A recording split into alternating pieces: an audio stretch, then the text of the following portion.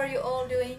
Today we are going to draw some faces. We're going to talk about where to place each feature. Where do you put the eyes, the nose, the mouth, the ears. After we know how to do that, our drawing will look a bit more realistic. Okay, since you're telling me you have no prior training, we'll have to start from square one. Or, or should I say, circle one.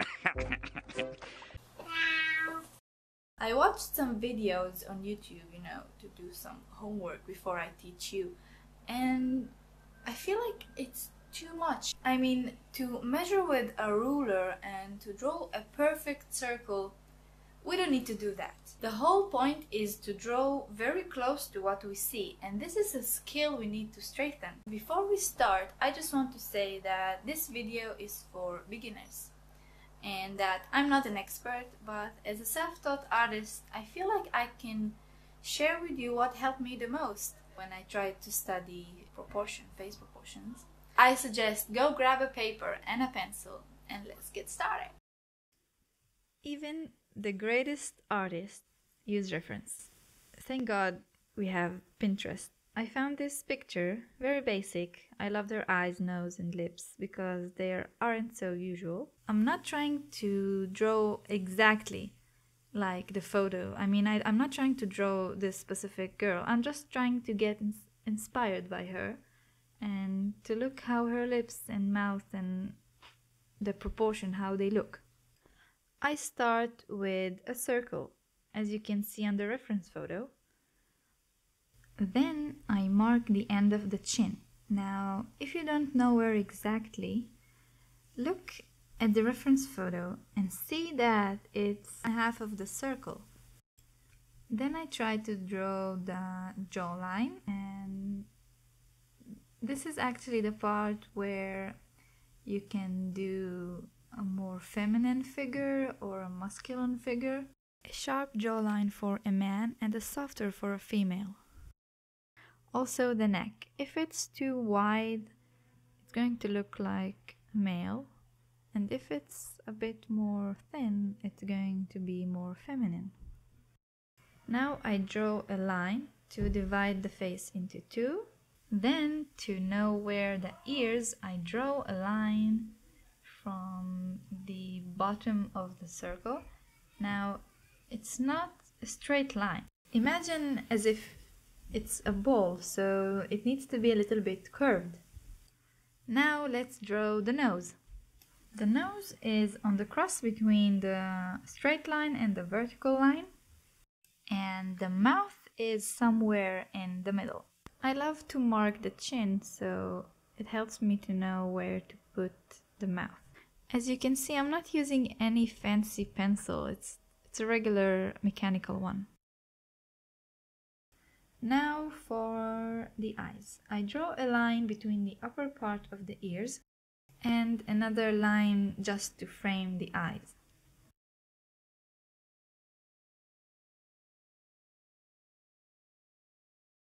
I'm just trying to know where the hair starts, the hairline. I like to draw a circle where I know the mouth, the nose and the eyes are before I start going into details.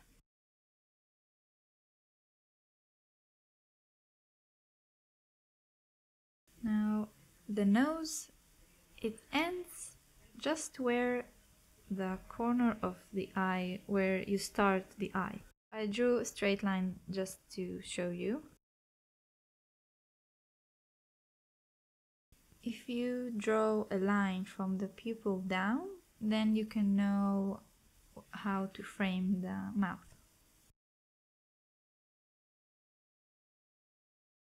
Now I'm drawing the outline shape of the eyebrow. I'm drawing the eyebrows a bit closer to the eyes because that's how I see it on the reference photo. But some people have their eyebrows a bit higher, so there's a uh, a bigger gap between the eye and the eyebrows. So it doesn't really matter, but also everyone has a different shape of an eyebrow. Before I go into details, I make sure that all features are in the right place with the right gaps because that that's what makes a drawing more realistic. First, you need to make sure that the face structure is accurate, then start drawing and shading and you know going into details. Also, I just want to say that it doesn't need to be perfect. It's not going to turn out exactly how you wanted it to be on your first try. But if you keep practicing, um, you will get better very quickly.